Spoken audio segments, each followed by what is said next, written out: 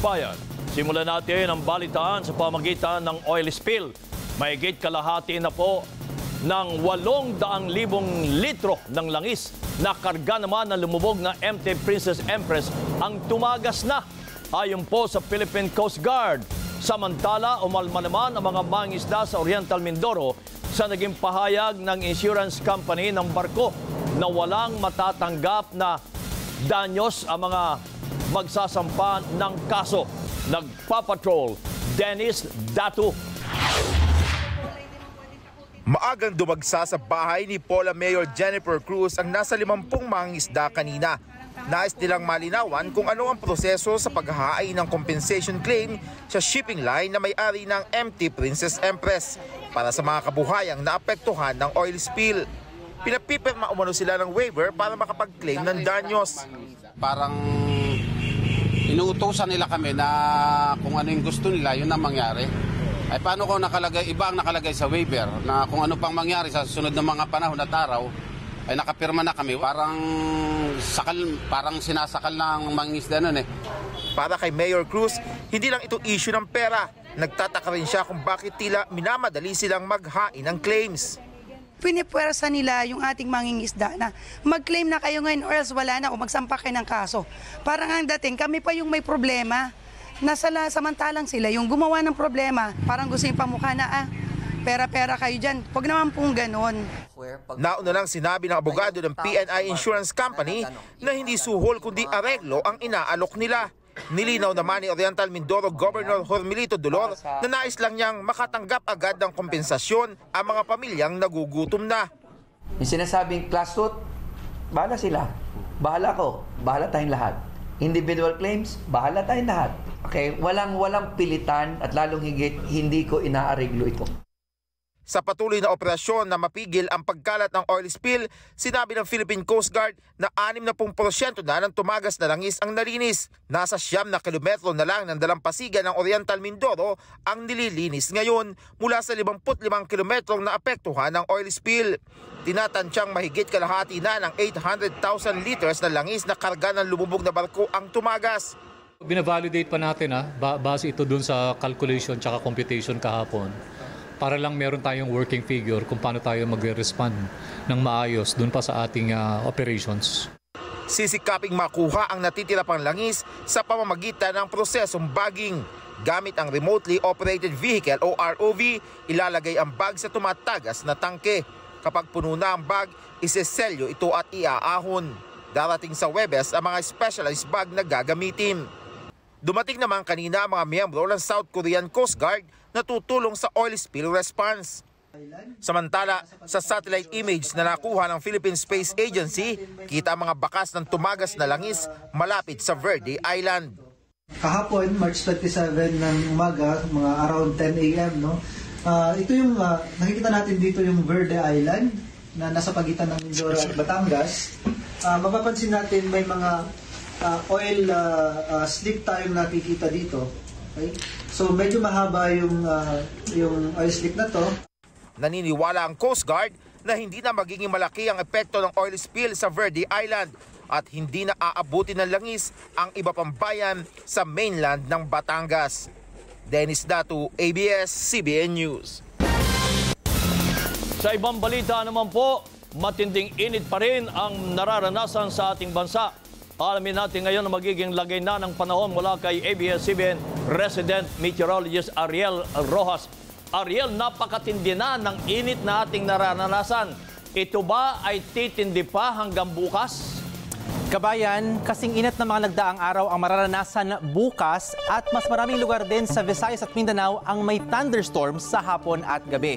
Sa mga susunod na araw, patuloy pang iral ang easterlies na magadala po ng maalinsangang panahon at thunderstorms. Samantala, may binabantayang low pressure area sa ibaba ng Mindanao pero mananatili ito sa labas ng Philippine Area of Responsibility at hindi ito direktang makakaapekto dyan sa Mindanao. Sa rainfall forecast ng The Weather Weather Company para bukas sa umaga may mahinang ulan sa may Surigao del Sur at Zamboanga Peninsula. Pagsapit ng tanghali, mas maraming lugar sa Caraga ang uulanin maging sa may Soxargen at sa Sulu Archipelago. Sa hapon, may malalakas na thunderstorm sa may Lanao del Sur at Maguindanao provinces habang maulan din sa mga karating probinsya dito sa kandurang bahagi ng Mindanao. At sa gabi, meron pang pag-ulan sa Agusan del Sur at sa Sultan Kudarat.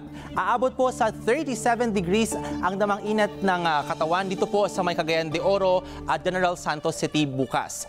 Sa Visayas, may ulan na sa umaga sa Eastern Visayas at silangang bahagi ng Bohol. Pagsapit naman ng tanghali, maulan na sa Hilaga at kitnang bahagi ng Cebu na magpapatuloy hanggang hapon at meron ding pag-ulan sa hilagang bahagi ng Aklan at Capiz sa hapon. Aabot naman sa 38 degrees ang mararamdamang init bukas sa may Bacolod at sa Iloilo City. Wala naman pong aasahang ulan bukas sa buong probinsya ng Palawan.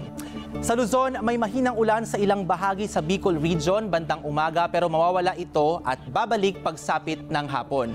Bago naman lumubog ang araw, may mga mahihinang ulan din sa ilang lugar sa Cordillera at sa kanlurang bahagi ng Central Luzon at sa gabi may kaunting ulan pa sa may Isabela sa Pangasinan at Zambales sa gabi.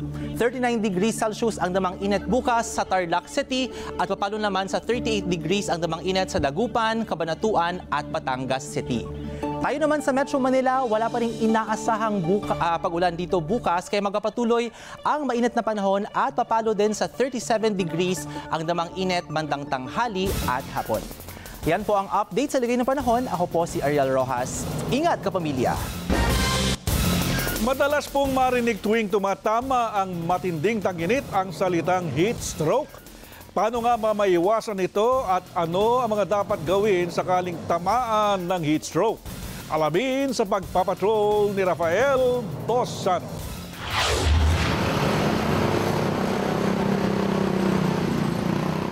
Sakto sa kasagsagan ng matinding sikat ng araw ang duty ni Richard bilang street sweeper sa Maynila. Gustuhin man niyang gawin ito ng mas maaga, bawal dahil hindi pasok sa kanyang oras. Kaya labis na pag-iingat ang ginagawa niya para makaiwas sa heat stroke. Ang nararamdaman ko sa pag tag-init, medyo nakakahilo, masakit sa ulo talaga. Masakit din sa balat eh. Yun lang ang ano ko, pero pag nahihilo ko, sumisilong naman ako, tapos inom lang ako ng tubig. Ang ilang rider naman na walang oras na pinipili ang biyahe, nagpa siya ng magpahinga muna dahil sa sobrang init. Ito nga ka, may booking ako, tinanggi ako dahil sa sobrang init. Tapos ang layo pa, long ride. Sayang din naman, pero kailangan mo pahinga. Naghihintay lang ng konting lamig ng lupa, biyahe na ulit. Heat exhaustion at heat stroke ang matinding kalaban ngayon ng mga laging nasa labas gaya ni na Richard at Robert. Ang pagkahilo, panghihina, pananakit ng ulo at labis na pagkauhaw ay senyales ng heat exhaustion. Kung hindi ito maaagapan, maaaring mauwi sa heat stroke kung saan pwedeng magdeliryo, kumbulsyon o mawala ng malay ang isang individual. Labis din ang init ng kanyang balat at body temperature na posibleng pumalo ng 40 degrees. Anybody who is suffering from this life-threatening uh, symptoms and signs caused by heat stroke, unang-una po, tanggalin po natin siya dun sa area na mainit. Pangalawa, bigyan po natin siya ng space so that there would be air circulating around the affected individual. Pangatlo, kung siya po ay nakabalot yung kanyang ah, katawan ng mga damit, halimbawa naka-blazer siya, naka-jacket siya, nakapantalon siya, maari po nating tanggalin yan. Sakaling mawala ng malay, pwede ring dampian ng cold pack ang pasyente para malamigan. Kung may malay, pwede rin itong dahan-dahan na painumin ng tubig. Itinanggi naman ng DOH ang ilang kumakalat sa text at social media na bawal umanong paliguan ang isang taong nanggaling sa mainit na lugar. Yung bawal na maligo o bawal dampian ng tubig for about 30 minutes, that is not true. Ang ginagawa po nga natin, binibigyan natin sa pinukool down natin ang kanyang katawan. Ito pong mga haka-haka na sinasabi na bawal nating painumin ng malamig na malamig na tubig ang isang taong nagsasuffer ng ganitong kondisyon, it will depend on the status of the patient. If the patient is unconscious o wala pong malay, wag nating papainumin ng tubig. Pero kung conscious naman po siya, maaari po nating painumin ng tubig na malamig unti-unti nga lamang. Ang heat stroke ay isa lang sa mga maaaring maranasan ngayong tag-init kung hindi mag-iingat. Nariyan pa ang ilang sakit gaya ng pagtatae, bunsod naman ang kakulangan sa ligtas na tubig o pagkain ng mga madaling mapanis. Rafael Bosano, ABS-CBN News. At nagsulputan na rin po ang mga negosyo na patok ngayong tag-init gaya po ng halo-halo at sa malamig. Pero may paalala po ang Department of Health sa publiko. Nagpapatrol, Robert Mano. Hindi lang ang matinding init ang nararamdaman ni Nanay Shirley dahil kasabay nito ang dagdag kita sa kanyang mga negosyong palamig sa Baklaran. Kung dati nasa 500 pesos ang kita, ngayong nagsimula na ang tag-init. Doble na ang kanyang kita sa tindang buko juice, gulaman at pineapple juice. Minsan umabot ng 1.5 nung mala, ano pa, pag summer yun. Pero pag tag-ulan, yung pinakamababa namin, mga limandaan. Kasi masarap ang timpla namin at saka asukal talaga yan. Hindi yung ano yung iba ngayon na ginagamit nila powder. Pasalamat ako sa nabimili sa akin dahil nakakatulong sa akin din. Sa Tondo, Maynila, naglabas na si Nanay Yolanda ng panindang halo-halo. Naisipan niyang idagdag ito sa mga itinitindang merienda dahil patok na pampalamig ito sa mainit na panahon. Minsan nga, di ko alam kung tumutubo ano. Kasi ano mo lahat yan, yung plastic mo, yung plastic, lahat binibili ko. Pati styro, mga lalagyan ng baso. Ngayong kaliwat kanan na ang mga pagkain at inuming pamatid uhaw, may paalala ang Department of Health. Hindi lamang po tubig ang dapat siguraduhin nating naligtas, yun pong mga yelo na ginagamit natin. Kapag ka nilalagay natin dito sa mga binebenta natin, kailangan ugaliin na inuugasan at siguraduhin na malinis ang pinanggagalingan. Iginiit din ni Vergere na mas mainam pa na uminom ng tubig. Yun pong iniinom natin ng mga samalamig, may mga asukal, hindi po yan puro na tubig na nakukuha ng ating katawan. Pinakamainam pa rin po tubig o malamig na tubig ang inumin natin kapag tayo nakakaramdam ng init ng araw. Bukod naman sa mga pagkain at inumin, marami rin ang pinipiling magbabad sa mga portable pool. Disyembre 2022 nang simulan na mag-asawang Julian Kate at Jill Fred ang pagpaparenta nito. Sobrang dami po talaga ngayon in demand po, lalo na ngayong summer. Ah, marami pong nag-aarkila, nagpapareserve na po. Bali ngayon week po, every day sa ano, tatlo po ang pinaka-minimum namin na napaparent eh. Sa katunayan, sa buwan ng Abril ay halos fully booked na sila. 500 pesos ang renta sa portable pool kada araw. Kaya plano na nilang magdagdag lalo't inaasahan ang mas mainit na panahon sa mga susunod na araw. Robert Mano, ABS-CBN News. Sa ibang balita naman, naniniwala si Justice Secretary Jesus Crispin Remulla na may malinaw na koneksyon para iugnay si Negros Oriental 3rd District Representative Arnulfo Teves Jr. sa pagpatay kay Governor Roel Degamo. Ayon kay Remulla, nananatili ang mga suspect sa isang tinawag nilang safe house na inilaan umano ni Congressman Teves. Sa ngayon, anya maituturing ng pugante si Teves kahit hindi pa ito nakakasuhan kaugnay sa pagpatay kay Degamo. Una nang sinabi ni Remulla na ikinukonsidera si Teves na isa sa mga mastermind sa pagpatay sa gobernador. Sagot naman ng abogado ni Teves na si Attorney Ferdinand Topacio, magsampa na lang ng kaso ang naturang ahensya para anya ganap nilang madepensahan ito. When you, one is suspected of having committed a crime, he is already suspected to be uh, considered a fugitive if he does not show up. The, the actions uh, would speak louder than words. Not showing up that he is evading us or trying to evade the law. Samantala, ineg ngayon ng PNP ang pagkakaaresto sa isang security aide na posibleng susi umano sa kaso ng pagpatay kay Governor Roel Degamo. Kinilala ni PNP spokesperson Colonel Jean Fajardo ang naaresto na si Nigel Electona, isang nadismiss na pulis at nagtrabaho bilang close-in security officer ng pamilya Teves sa Negros Oriental. Si Electona ang tinutukoy sa search warrant sa isinagawang raid sa Amparos Village, Barangay Villarreal sa Bayawan City kung saan na-recover ang ilang illegal na armas, granada, gayon din ang mga litrato ni Degamo at ng kanyang pamilya. Dahil dito, naniniwala ang PNP na ginamit ang mga ito sa pagpaplano sa pagpatay sa gobernador. Arestado ang limang hinihinalang miyembro ng Laglag Baryagang matapos tangayin ang mga cellphone at wallet ng mga pasahero sa isang jeep. Nagpapatrol, Karen De Guzman. Hinabol at saka pinalibutan ng mga pulis ang UV Express na ito sa Malate, Maynila. Sakay nito mga tinuturong kawatan na nagnakaw umano ng mga gamit sa isang pampasaherong jeep. Ang kanilang modus, laglag barya. Sa Pedro Hill na ako dinukutan pagsakay nila ng jeep. Lahat yan, yung mga yan. Grupo sila eh. Nipit nila ako eh. Kwento ni alias Michael, maluwag ang nasakyan ng jeep nang biglang sumakay ang limang lalaki at sumiksik sa kanyang tabi.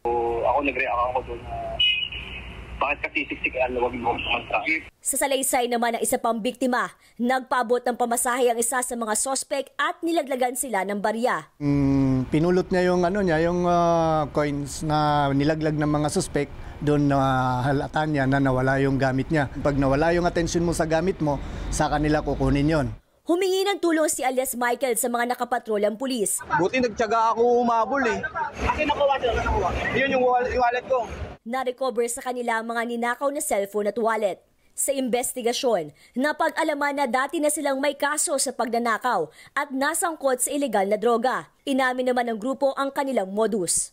Lalagyan lang, lalaglagan po lang ng barya. Tapos? Dudukutin na po. Dahil lang po siguro ng kahirapan sa buhay naman. Siyempre po hirap doon sa amin eh. Wala pong ibang maging hanap buhay. Pinag-iingat ng mga otoridad ang publiko sa ganitong klase ng modus, lalo na sa nalalapit na Semana Santa. Pag napansin niyo po yung mga ganitong modus sa ng mga kawatan, ah, secure niyo po yung gamit niyo and then ah, kumuha ng pagkakataon na makababa then magsumbong doon sa mga pulis natin. Sinampahan na na reklamong theft ang mga sospek. Karen de Guzman, ABS-CBN News.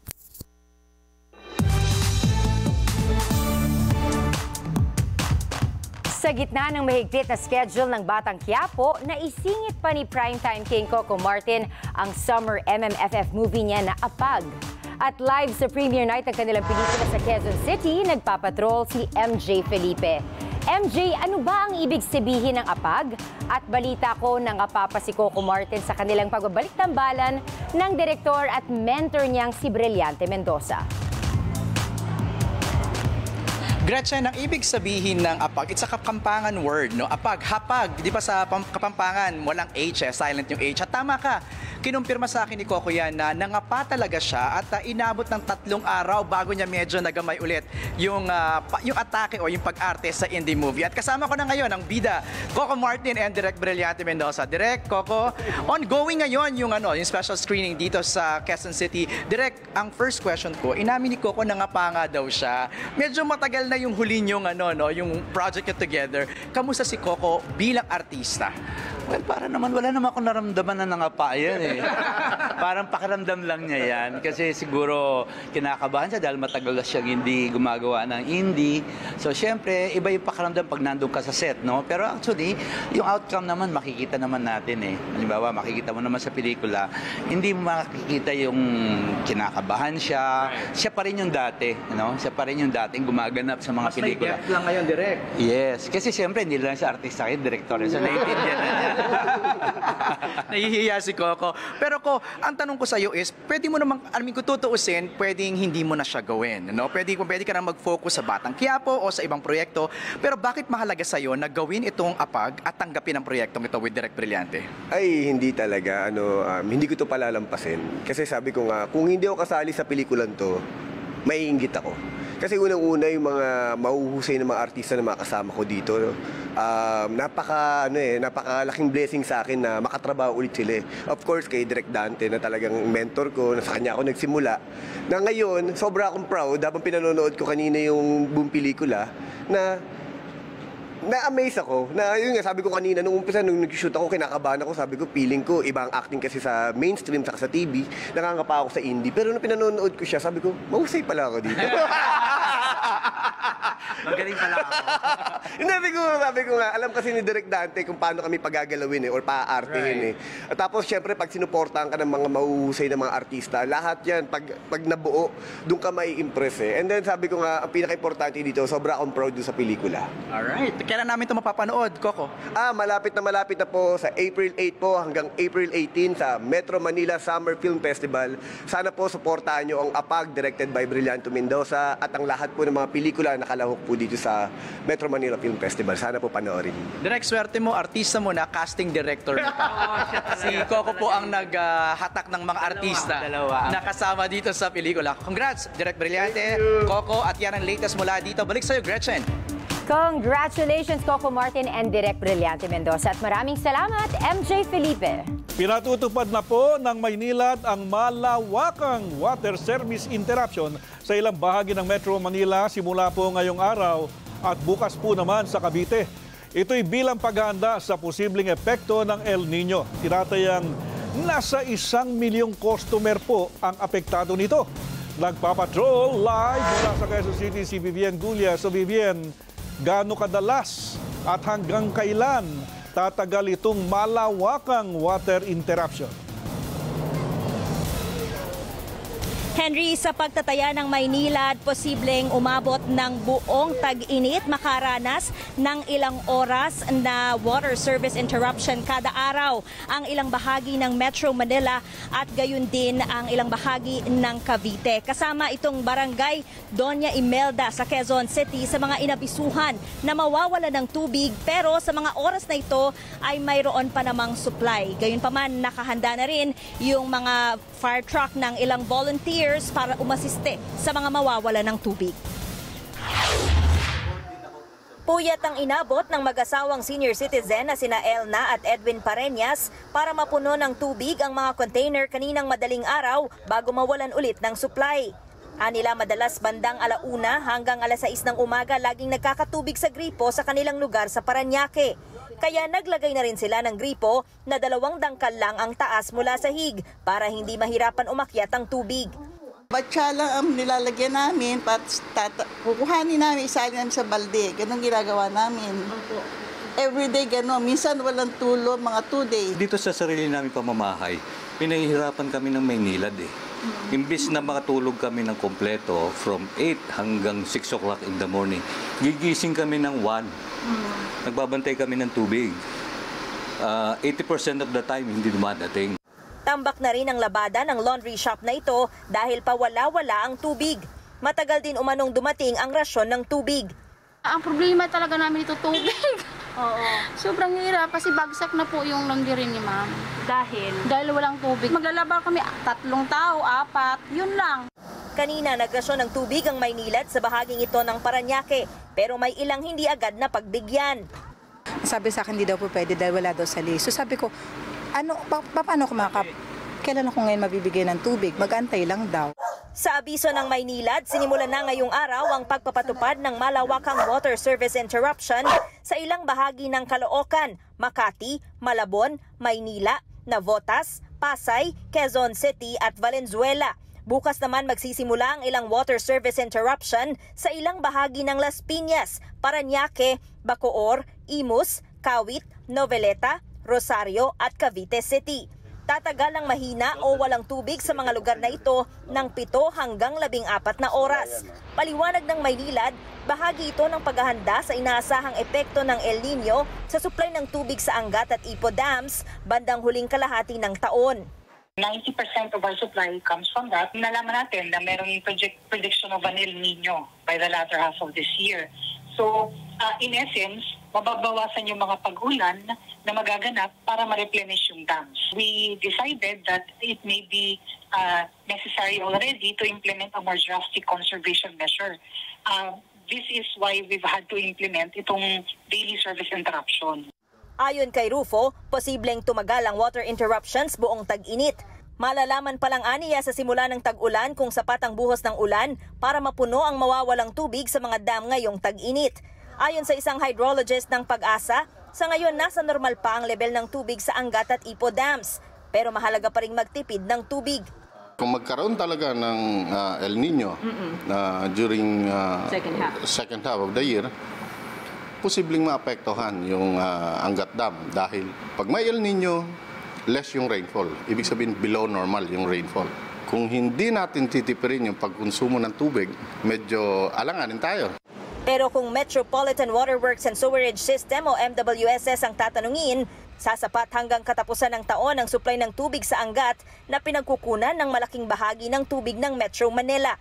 Nagpatawag ang MWSS ng pulong kasama ang Maynilad bukas para pag-usapan ang water interruption. As far as MWSS is concerned, meron tayong sapat na tubig na pwede nating hilahin after the summer. In fact, at the end of December 2022, ang level ng Angat Dam ay 2014. 2 meters higher than our projected up to 12. Okay? Kaya gusto nating maintindihan at ah, maipaliwanag din sa publiko bakit nagkaroon ng ganong publication ang ang Maynila. Gayunman hinimok na rin ng Local Water Utilities Administration ang mga LGU at Water District na magtipid sa tubig. Para kay Pangulong Ferdinand Marcos Jr., hindi katanggap-tanggap na kulang ang tubig sa Pilipinas. Kailangan aniyang pagbutihin ang pag-manage sa water resources. I'm talking about freshwater supply, drinking water, uh, irrig- irrigation water. Ito lahat ay kailangan natin talagang tignan. So, what we have come up with, with the, the well, we have a we have an overall plan. Uh, in that uh, we are changing the way that we water, that we ac- acquire the supply of water. And we are hoping to shift. No, we're not hoping. We're going to. We're going to shift from the majority of water sources now, which is uh, kumukuha tayo laging balon ng kinukuhanan natin. Eh. We always dig wells. Uh, whereas what we really should be doing is taking advantage of surface water. Hindi katanggap-tanggap na ang Pilipinas kulang sa tubig. Simula April 1, babawasan ng National Water Resources Board o NWRB ng 2 cubic meters ang karaniwang 50 cubic meters per second na alokasyon ng tubig sa water concessionaires bilang paghahandayan sa epekto ng El Nino. Umapila naman ang Maynilad sa NWRB na huwag munang magbawas ng alokasyon ng tubig. Pero tiniyak din itong patuloy ang supply augmentation measures ng kumpanya tulad ng pagtatayo ng deep wells sa treatment plants. Tiniyak naman ng Manila Water na walang magiging problema sa supply ng tubig sa kanilang customer dahil may iba silang pagkukunan ng supply. Sa mga apektadong consumer ng Maynila, maaaring tumawag sa kanilang hotline 1626 o mag-iwan ng mensahe sa kanilang official social media pages. Samantala, uh, handa na, uh, tiniyak ng Maynilad na handa ang kanilang mga nasa isang daang mobile water tankers para i-deploy sa mga mangangailangan nito habang naka-standby din ang nasa higit 80 um, stational water tanks. Pero pinakamainam pa rin ayon sa Maynilad kung mismong mga consumer na ang mag iimbak ng sarili nilang tubig tuwing may supply. Henry, balik sa'yo. Vivian, uh, Maynilad lang ba may ganyang uh, problema? Yung ibang water concessionaire, oh, Manila Water, uh, meron bang water interruptions? Henry, yung ganitong kalawak na um, water service interruption na araw ilang oras kada araw dahil nga sa paghahanda para sa El Nino, Maynilad pa lang yung nag-abiso niyan, no? Pero yung Manila Water uh, sa kanilang pagtitiyak eh wala naman daw magiging problema. I mean, they can continue o patuloy nilang masusuplayan ng tubig yung kanilang mga customer uh, ngayong summer pero merong siguro mga pailan-ilang oras na water service interruption interruption sa ilang lugar kung saan magkakaroon ng mga leak repairs at mga maintenance. Henry. Maraming salamat, Vivian Gulia. Sa ibang balita naman, nasa 352 meters na ang nahuhukay sa ginagawang tunnel para sa Kaliwa Dam Project sa Teresa Rizal. Kanina ipinasilip sa media ng Metropolitan Waterworks and Sewerage System o MWSS sa kauna-unang pagkakataon ang loob ng ginagawang tunnel. Ayon sa MWSS, 24-7 na nagtatrabaho ang mga construction workers para makalikha ng 22 kilometers na tunnel mula Teresa Rizal hanggang General Nakar sa Quezon Province. Inaasang matatapos ang proyekto sa huling bahagi ng 2026 at magiging operational ito pagsapit naman ng unang bahagi ng 2027. Tinatayang nasa 20 milyong customers na siniserbisyohan ng MWSS ang makikinabang sa Kaliwa Dam Project. Itong ating New Centennial Kaliwa Dam Project is part ng ating water security roadmap. Ah, ang ating 90% ng water is coming from ah, Angat. Matagal na yan, noong 1968 pa. Kaya kailangan talaga na magkaroon tayo ng another long-term water source para if ever something happens to Angat Dam, meron naman tayong pagkukunan ng tubig. Nakabinbin muna sa ngayon ang delivery ng bivalent COVID-19 vaccines na donasyon mula sa COVAX facility. Ayon kay DOH Officer in Charge Maria Rosario Vergere, sinisilip na nila ang lahat ng legal remedies para maituloy ang transaksyon habang kumpiyansa ang ahensya na makuha ang COVAX donation. Dagdag pa ni Vergere, nakikipag-ugnay na sila sa Office of the President at iba pang ahensya habang patuloy na pinag-aaralan ng DOJ at Solgen ang usapin. Una nang sinabi ng DOH na darating ang unang batch ng bivalent vaccines sa huling bahagi ng Marso. We have tried exhausting all possible means so that this transaction will push through. But for now, it is still being further studied by the Office of the Solicitor General and the Department of Justice. Good news naman tayo para sa mga miyembro po ng Pag-ibig Fund. Lumago ang regular savings at MP2 voluntary savings ng ahensya sa taong 2022 kumpara noong 2021. Isinusulong din ng SSS ang kapares na mandatory at voluntary savings program para sa mga miyembro. Nagpapatrol, Alvin L. Chico. Sa edad na 24 years old, nadiskubre ng empleyadong si Ralph ang Modified Pag-ibig Savings o MP2. Kaya simula noong nakarang taon, sinusubin niya ang bahagi ng kanyang sweldo. Ang biggest regret ko nga is not saving early. Nung nalaman ko lang siya during the pandemic, ah, nakita ko nga 6%, 7%, I started putting um, a portion of my money sa MP2. Dati namang OFW ang 52 years old na si Maria Magdalena, may maliit siyang negosyo at bahagi ng kanyang kita. Araw-araw diretso sa MP2. Kung meron ka 365 days, o di 365,000 ang iyong naipon in one year. O, at that is, pagtungtong ko po ng 60, meron na akong magkanong amount. O may, meron na po akong pang happy-happy pagtanda ko. Ang MP2 na tax-free ay voluntary savings program ng Pag-ibig Fund bukod pa sa regular savings na binabayaran ng kada miyembro buwan-buwan.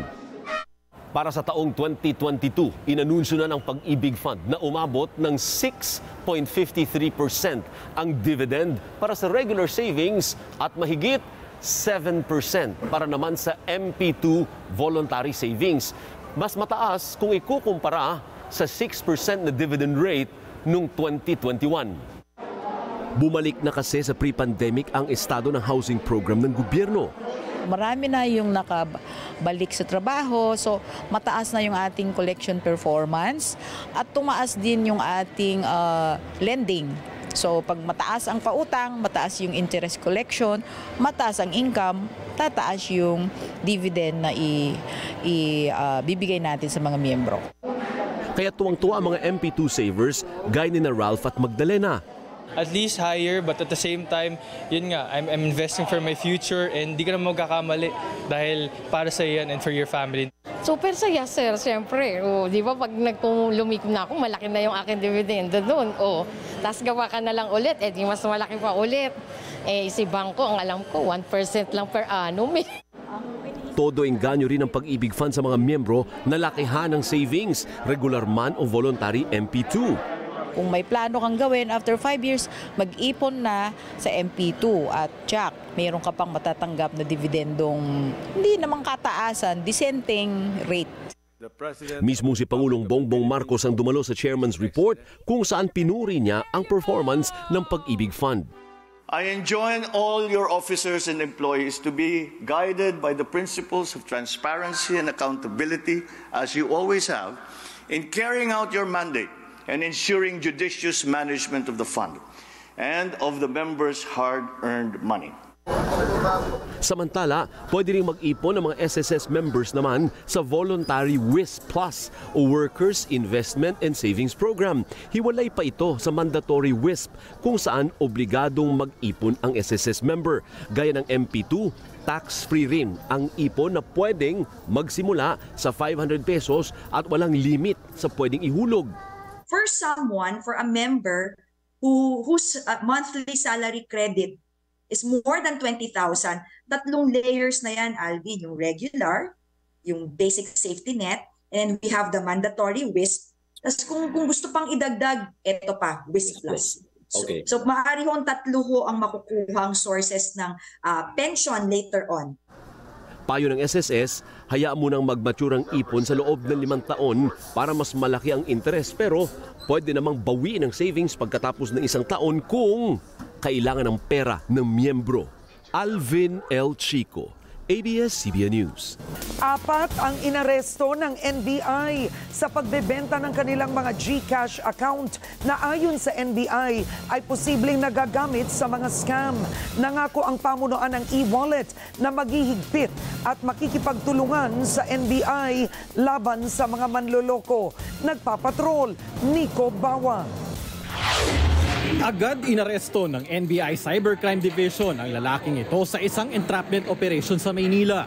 Bumibili umano siya ng mga GCash account sa halagang 450 pesos na kanya namang binibenta ng 500 pesos. Isa lang siya sa apat na suspect na inaresto sa parehong modus. During our cyber monitoring, nakita po namin yung rampant na ah, sale ng GCash o verified GCash account. And then nakita rin namin maraming parokyano yung bumibili. And at the same time, ah, given the fact na ah, the recent days, marami hong nangyayaring scam activity using GCash accounts. Ayon sa suspect, paliwanag daw sa kanya ng buyer ng mga account, ginagamit ang mga GCash account ng mga player sa online casino. Mahigit apat na rang account na umano ang kanyang nabenta sa isang buwan, bagamat hindi niya alam na ginagamit pala ito sa mga scam. Hindi man po kasi sir, ang dami pong ano, ang dami pong gustong bumili po. Kaya po doon sa mga na-scam, sir, talaga pong hindi ko po alam, pasensya po. Sobrang sorry po kasi kahit ayo, kahit ako po ayoko mangyari sa kamag-anak ko sa pamilya ko. Ah, huwag po kayo mag-alala, nakikipagtulungan po ako sa NBI. Sinisiguro naman ng pamunuan ng GCash na mas hinihigpitan pa nila ang kanilang sistema para hindi ito magamit ng mga scammer. Pumasok din sila sa isang kasunduan sa NBI para tumulong sa mga investigasyon. Sa dami ng mga scammers at fraudsters, makakatulong po tayo para masawatan ho yung mga fraudster at scammers na to at maprotektahan po natin ang publiko. Yung channel where uh, the uh, ginagamit nitong sindikato is uh, ano, concerned, like GCash, Globe, napaka-importanting nakikipag-coordinate dito sa NBI. Kasi in a way, maapektuhan rin yung telecom company. This is a good sign that uh, the the telecom company is joining hands with us. Kulong ang apat sa paglabag sa Access Devices Regulation Act. Paulit-ulit naman ang paalala ng NBI na huwag ibenta ang kanilang SIM card o e-wallet account, lalo't posibleng makasuhan ang mapapatunayan nagbebenta sa iba ng kanilang e-wallet account. Nico Bawa, ABS-CBN News. Pasado na po sa ikatlo at huling pagbasa sa Senado ang panukalang nagbabawal sa no permit, no exam policy sa pribado at pampublikong paralan.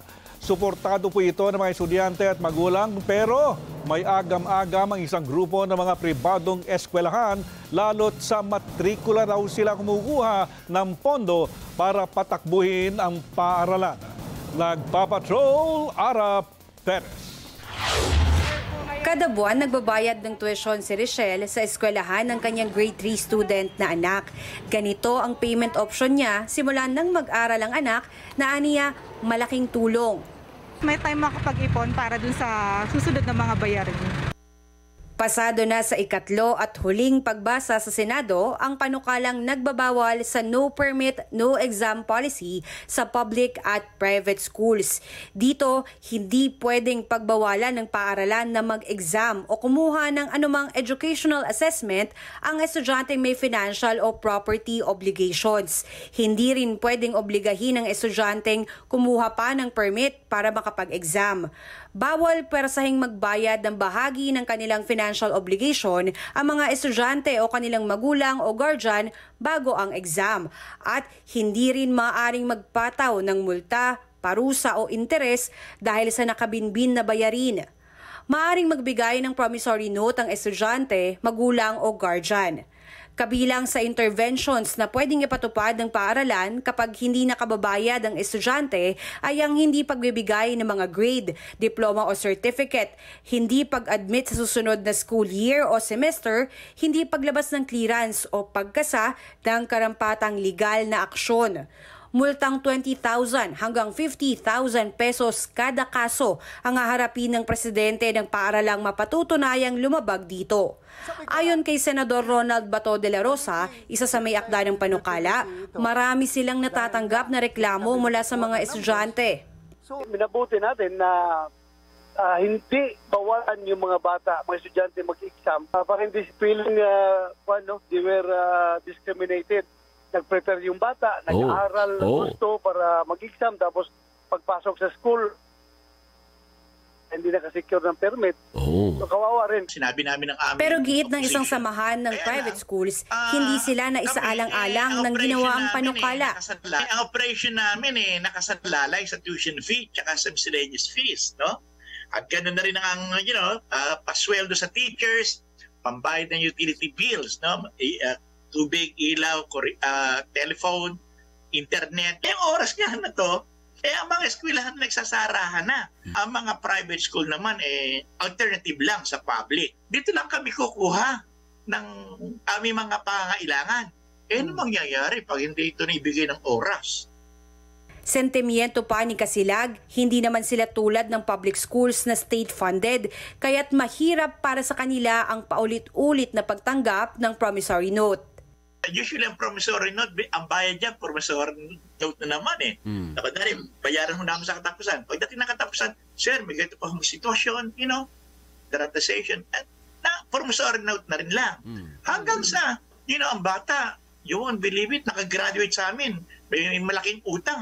Dahil nga, inaalaw mo sila sa batas na i-hold nila yung ah, grado, yung report ah, card ng ah, ah, grado ng estudyante or yung kanilang ah, ah, diploma kapag sila ay ah, graduating na, ah, i-hold nila, hindi nila pwede ibigay. Pati yung transcript of report ay pwede lang i-hold. So, mapipilitan talaga ang ah, magbayad, mag-settle ng account. Kaya ang Coordinating Council of Private Educational Associations of the Philippines pinag-iisipan na alisin ang installment payment option sakaling maisabatas ang pagbabawal sa no permit, no exam policy. Maaring mapilitan or uh, mapilitan ang mga parents na magbayad on the spot or upon enrollment no? And uh, of course hindi rin naman gusto ng ng schools yon kasi may hirapan din ang mga estudyante ang ating mga parents. Ang fear kasi namin dito ang or yung unintended implication ng law is uh, baka yung mga parents na kaya naman magbayad ng tama or or maaga ay hindi na magbabayad kasi hindi sila walang compulsion no Oh, may, bata, may batas kasi. Wala pang opisyal na pahayag ang CHED ukol sa panukala habang gusto ni Vice President at Education Secretary Sara Duterte na hintayin muna ang paggulong ng mga diskusyon ukol sa panukala. Let us wait for the discussions uh, doon uh, sa Congress uh, with regard to sa mga batas but uh, the Department of Education fully commits to participate sa lahat ng mga patawag o mga hearings na ginagawa ng Congress. Nananawagan ng private schools na intindihin din sila ng pamahalaan habang bumabangon mula sa epekto ng pandemya.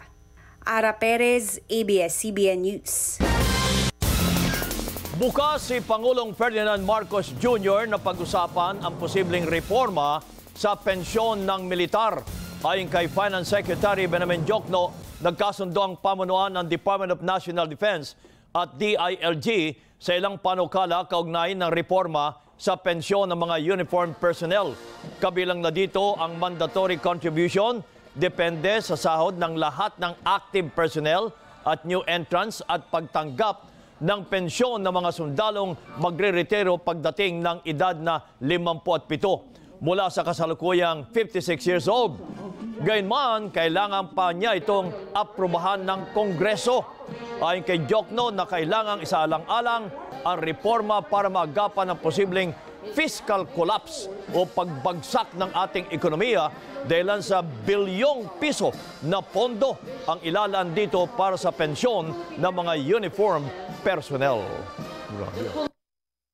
The situation is so so so bleak, for example, that if you compare the current operating expenditures or maintenance and operating expenditures of the whole AAFP and the capital outlays, so the money they buy for airplanes, etc., etc., it is actually uh, much less than uh, than the amount of pension that we are allocating for the retirees.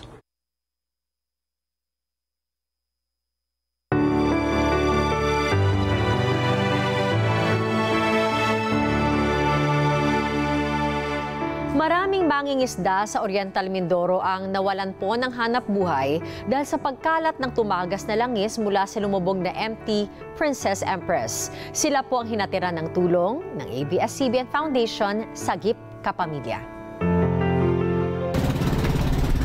Tinungo ng ABS-CBN Foundation ang barangay Buhay na Tubig, isa sa pinakaapektadong coastal barangay sa bayan ng Pola. Isang oras ang biyahe ng bangka para marating ang lugar. Ipinagbawal ang pangingisda dahil sa posibleng dulot na sakit ng tumagas na langis. Malaking dagok ito para sa 63 anyos na si Mang Alberto Cruz na 50 taon nang mangingisda. Sa ngayon, namamasada na muna siya ng motorsiklo para maitawid ang pang-araw-araw na pangangailangan ng kanyang pamilya. Ay wala talaga po akong kan. Wala ho akong kita. Talagang walang wala. Nakakasakit ng loob. Ramdam ng mga opisyal ng barangay ang hirap ng mga mangingisda na nawala ng kabuhayan. Nakatatanggap man ng ayuda mula sa LGU, hindi ito sapat. Napakahirap po ng aming sitwasyon. Kami humihingi ng tulong ng yung mga pangangailangan namin katulad po ng pagkain, alternatibo na pinagkakakitaan. Bilang karagdagang tulong, naghatid ang ABS-CBN Foundation sa Gip Kapamilya ng relief pack sa komunidad. Kabilang dito ang bigas, delata at hygiene kit sa limang daang pamilya na labis na naapektuhan ng oil spill. Sobrang thankful kami kasi nandito kayo. Sagip ka pamilya. So, salamat dahil may mga tao na nakakarinig sa amin. Even yung kayo, like Sagip ka pamilya, na naririnig ninyo siguro yung dasal namin, natulungan kami.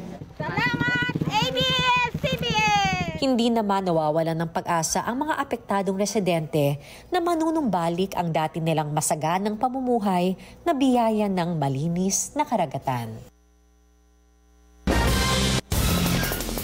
Patuloy pa rin ang pag-arangkada ng world-class kapamilya content abroad.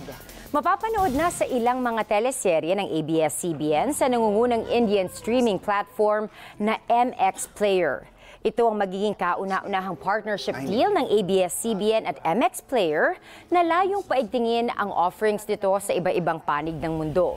Ilan sa mapapanood sa MX Player ang primetime serye ni Angel Locsin na A General's Daughter at hanggang saan ni na Sylvia Sanchez at Arjo Ataide. Streaming din sa MX Player ang Love Thy Woman ni na Kim Chu at Yam Concepcion. Pati ang mga programang Sino ang May Sala, Mea Culpa ni na Jody Santa Maria at Bella Padilla. At A Love to Last ni Ian Veneracion at Bea Alonso. Pito ang patay kabilang ang tatlong batang estudyante sa isa na namang insidente ng mass shooting sa Amerika. Nangyari ang pinakahuling pamamaril sa elementary school sa Nashville, Tennessee. Nagpapatrol North America Bureau Chief TJ Manoto. Nabulabog na naman ang Amerika ng panibagong insidente ng pamamaril sa isang Christian school sa Nashville, Tennessee. Pasado alas 10 ng umaga, itinawag sa pulisya na may namamaril sa loob ng Covenant School. Agad na rumispondi mga pulis at matapos ang labing apat na minuto, nabaril at napatay ang shooter. Pero nakapatay na ito ng tatlong batang estudyante na 9 anyos pa lamang at tatlong staff, kabilang na ang head of school. Kinilala ang shooter na si Audrey Hale, 28 anyos at dati umanong estudyante ng Covenant School. Sumugod si Hale sa eskwelahan, bitbit ang dalawang assault rifles at isang handgun may hawak rin umano siyang manifesto at mapa ng paaralan. Giit ng mga pulis, maliwanag na tinarget ni Hale ang Covenant na isang private Christian school sa Nashville na may preschool hanggang grade 6. Hindi makapaniwala mga taga Nashville na sa lugar nila nangyari ang pinakabagong insidente ng mass shooting sa Amerika. I don't think it should be as easy to buy flowers as it is a gun. You know, there's there's just not enough to protect children. As Christians, we felt compelled to come here um, to pray, and we've been praying all day, and um, we just felt compelled to come here and, and show support for the Nashville community. Kinundin na naman ni US President Joe Biden ang panibagong mass shooting sa bansa at muling nanawagan sa Kongreso na isabatas na ang assault rifle ban. We have to do more to stop gun violence. It's ripping our communities apart. So I call on Congress again to pass my assault weapons ban. It's about time that we begin to make some more progress, but there's more to learn. But I just wanted to send my uh, concern and hearts out to so many parents out there. Ayon sa grupong Gun Violence Archive, ang pamamaril sa Nashville ang pang-isang daan na dalawamput siyam na mass shooting sa Amerika ngayong taon. TJ Manotok, ABS-CBN News. Naghain na rin ng wage hike petition ang mga manggagawa sa Calabarzon habang may sinusulong ding panukalang taas sahod sa Kamara. Tingin po kasi ng Makabayan Block, nationwide dapat ang taas sahod dahil buong bansa ang epekto ng nagtataas ang presyo ng bilihin at serbisyo. Nagpapatrol Zen Hernandez. Para sa Lady Guard na si Nori, walang duda Kulang ang minimum wage. Sa pagkain pa lang ng limang anak, walong daan agad ang gastos. Kaya kahit pa todo kayod rin ang mister niyang vendor, napipilitan silang umutang ng limang daang piso kada araw para na rin may pamasahe papasok ng trabaho. Sobra, napautang pa, nakasanla pa yung ATM. Sobrang sakit. hindi ko na nga alam sa tagal ng nagsanla ng ATM. Parang hindi ko na alam yung PIN ko dahil tapos talaga eh. Sa pag-aaral ng Ibon Foundation, bumabagsak ang halaga ng minimum wage sa lahat ng rehiyon sa bansa dahil sa patuloy na pagtaas ng presyo ng mga bilihin. Kaya lalo pang lumaki ang agwat sa tinatawag na living wage o nakabubuhay na antas ng sahod. Sa National Capital Region, 1,161 pesos na kada araw ang kailangan ng isang pamilyang may limang miyembro habang 1,087 pesos naman sa Calabarzon. Kaya para mailapit sa living wage, humirit ang isang labor group na itaas sa 1,100 pesos ang minimum wage sa NCR. Habang ang grupong Workers Initiative for Wage Increase naghain ng petisyon para gawing 750 pesos kada araw ang minimum sa Region 4A. May mga wage hike petitions na rin sa Western at Central Visayas. Pero noong isang taon lang huling nagpatupad ng minimum wage adjustment, kaya pakiusap ng dole, hayaan ang regional wage boards na pag-aralan kung may sapat ng batayan para sa panibagong pagtataas. I'd leave it to the uh, wage boards to look at that, no? Uh, kasi hindi not simply naman yung inflation rate ang basis ng kanilang pagdidesisyon. Uh, Siyempre, importante tignan yung uh, needs ng workers capacity ng employers. Nababagala naman ang Makabayan Block sa proseso ng mga wage board kaya isinusulong ang panukalang 750 pesos na nationwide increase sa Kamara. 8.7% yung inflation, wala namang magawa ang gobyerno para ito ay uh, ampatin. Itong economic crisis na nararanasan, ito na yung compelling reason at hindi na yung time, hindi na makakapag-antay yung ating mga manggagawa. Marami na nagugutom. Ayon kay Castro, nairekomenda na sa committee level ang panukalang taas sahod. Kaya inaasahang mauumpisahan itong talakayin sa pagbabalik ng Kongreso sa Mayo. Ang kilusang Mayo 1 naman, naghahanda ring maghain ng wage hike petitions sa iba pang rehiyon bago ang May 1 o Labor Day. Zen Hernandez, ABS-CBN News.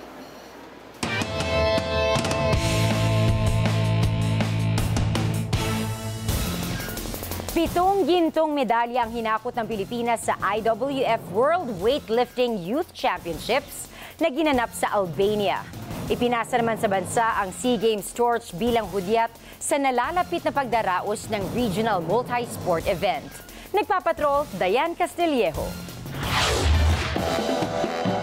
Mainit na sinalubong sa Tagaytay ang Cambodia SEA Games delegation na may dala ng Games Torch. Ginanap ito 39 days bagong umpisa ng mga palaro.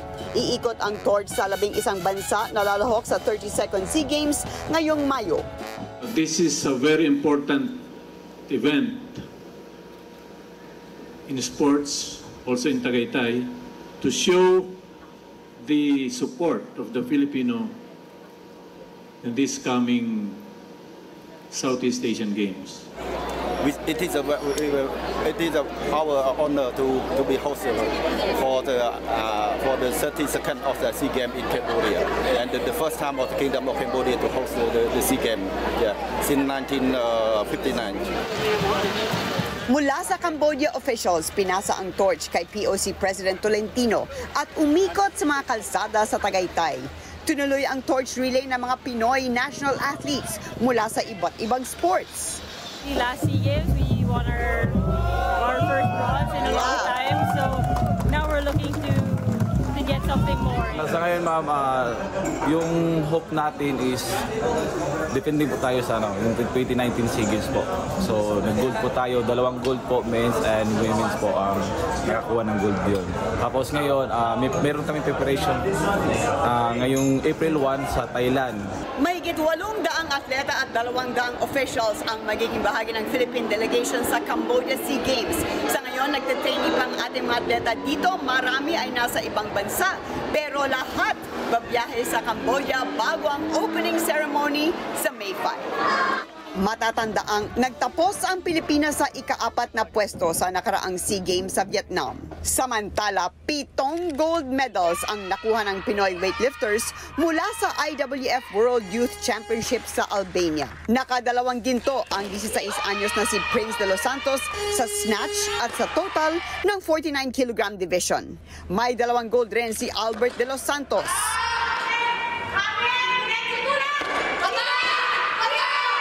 Isang gold naman ang nakuha ni na Aaron Bores. At Angeline Colonia.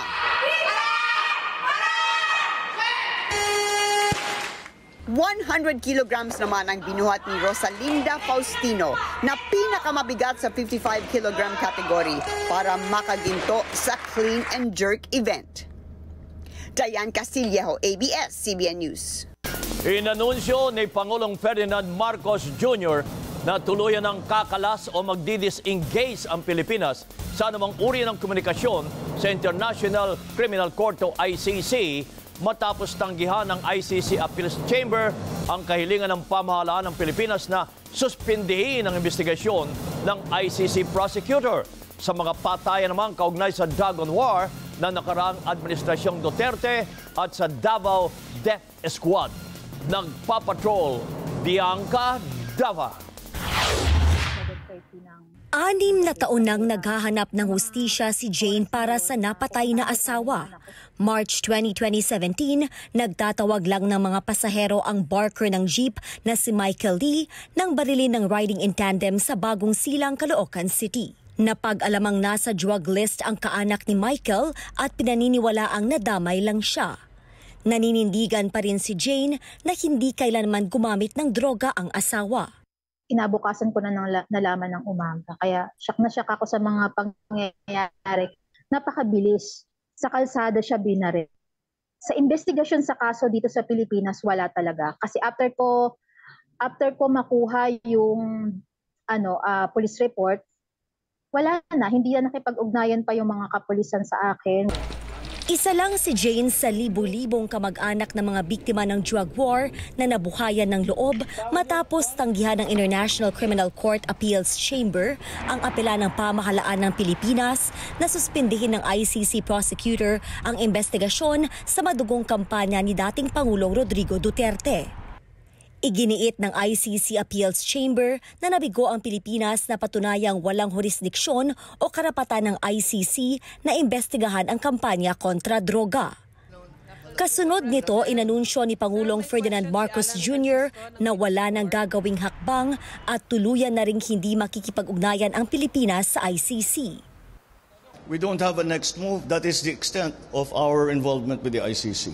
The appeal has been has uh, the appeal has failed, and there's uh, in our view there's nothing le- there's nothing more that we can do in the government, and so at this point we essentially are disengaging from any contact from any uh, co- communication, I guess, with the ICC. Para maliwanag, ang tinanggihan ng ICC Appeals Chamber ay ang hiling ng Pilipinas na suspindihin ang investigasyon ng ICC prosecutor.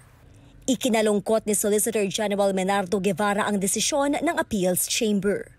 Kinilala niyang nakabinbin pa ang mismong apela ng gobyerno at posible itong matagalan ng ilang buwan o taon bago maresolba ang isyu ng jurisdiksyon at kung pasok ba ang sitwasyon ng Pilipinas sa dapat sakupin ng ICC.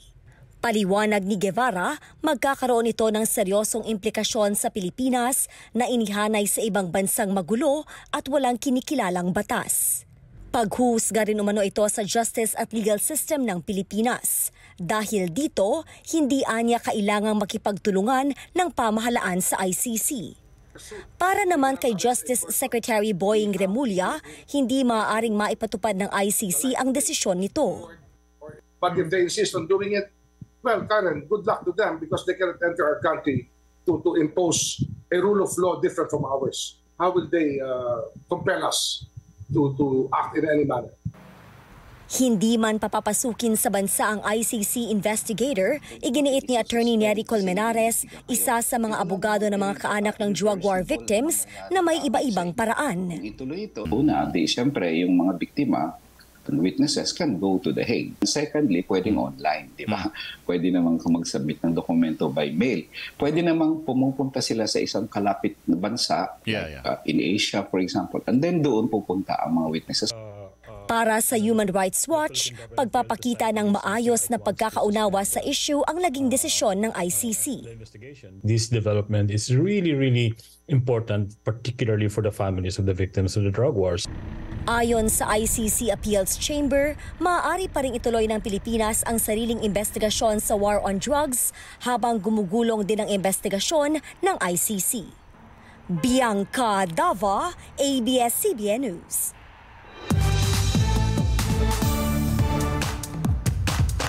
Masaya si Seth Fedelin na nakuha ang matamis na oo ni Francine Diaz na maging date sa Star Magical Prom.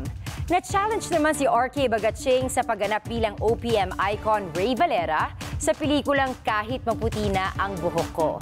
Nagpapatrol, Mario Dumawal. Baklase. Baklase talaga, no? Ito ang sandaling ninamnam ni RK Bagatsing sa pagkikita nila ng OPM icon na si Ray Valera sa launch ng kanilang Metro Manila Film Fest 2023 Summer Entry na kahit maputi na ang buhok ko. Aminado si Bagatsing, isa sa pinakamabigat na hamon ang gampanan ang talambuhay ng singer-composer. Of course, nahirapan ako. So after that, mas fulfilling para sa akin. Kung meron kang pangarap, talagang kailangan paglaban mo eh. Kasi sila ang magta- Tampok sa pelikula ang iba pang classic hits ni Ray Valera tulad ng Tayong Dalawa, Maging Sino Ka Man, Walang Kapalit at iba pa. Kapag ikaw yung matanda na, ma-realize mo, marami kang maaalala eh. Yung mga bata, pag napanood nyo, ma-inspire kayo. Yung ultimate sacrifice o yung ah, gift na may bibigay mo is yung who you are. Yes! Oy, nag-yes! Mas lalo namang naglapit ang puso ni na Seth Fedelin at Francine Diaz. Ngayong sila ang magde-date sa Star Magical Prom ngayong March 30. Literal na pasabog ang imbitasyon ni Seth kay Francine. Sabi ko pag hindi ka nag-yes, yun, mahal ang fireworks. Ah, kinakabahan ako nun, pero umuo siya. Sorry guys. Sorry guys, ako na po ang kadate. Ibinahagi din ni Seth ang sikreto ng kanilang chemistry bilang partners. Parehas kami. Parang humor niya. Humor niya, yung pagiging masungit niya. Minsan kasi nagtataray sa akin. Eh. Pero, nagpapasuyo na. Tuwang-tuwa din si Seth. Patuloy na nagte-trending ang serye nila ni Francine na Dirty Linen kung saan bukod tangi ang api-apihang role ni Seth. Opo, sobrang bait talaga. Pure, pure soul ako doon. Pure love. Sa buong Dirty Linen, ako yung pinaka-pure love. Aabangan din ang susunod na pagtatambali na Seth at Francine sa seryeng Fractured. Mario Dumawal, ABS-CBN News.